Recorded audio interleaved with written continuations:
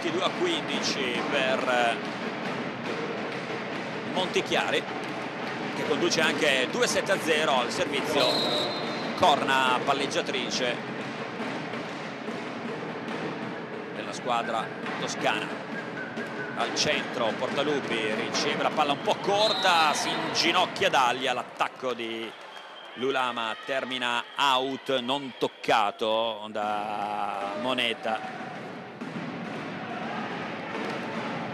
22 a 16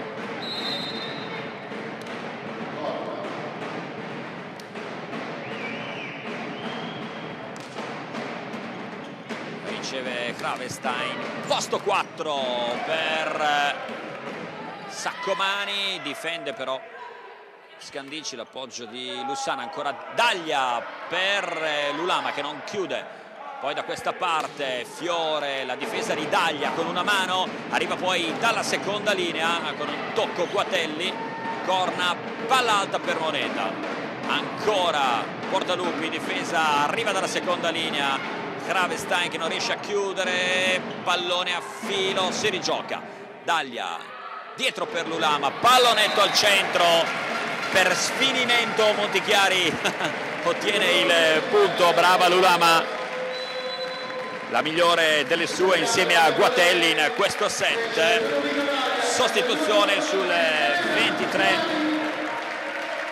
a 16 entra in campo Serena Milani seconda palleggiatrice. Anch'essa giocatrice molto interessante seppur molto molto giovane. 23 a 16 Lussana, corna, palla dietro per eh, Moneta che schiaccia out. 24 a 16, si arriva così al eh, primo match ball a favore di Montichiari. Saccomani, Lussana palleggia Milani per Kravestein che non riesce a chiudere con un diagonale strettissimo.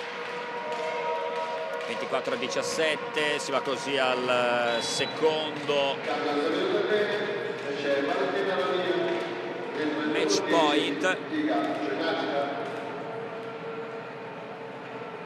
Battuta moneta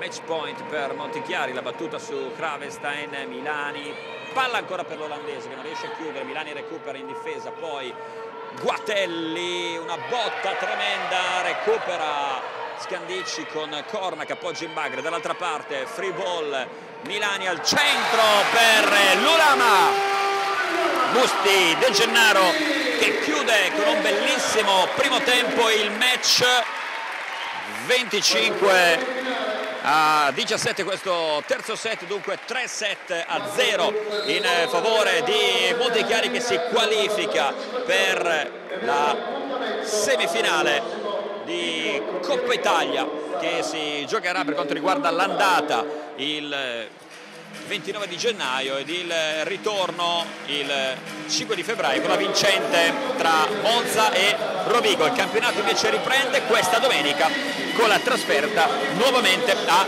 Scandicci. Una buona serata a tutti da Claudio Chiari.